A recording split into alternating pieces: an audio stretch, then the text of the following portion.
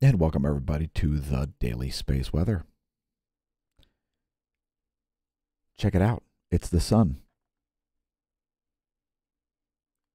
And check it out. This is an outtake.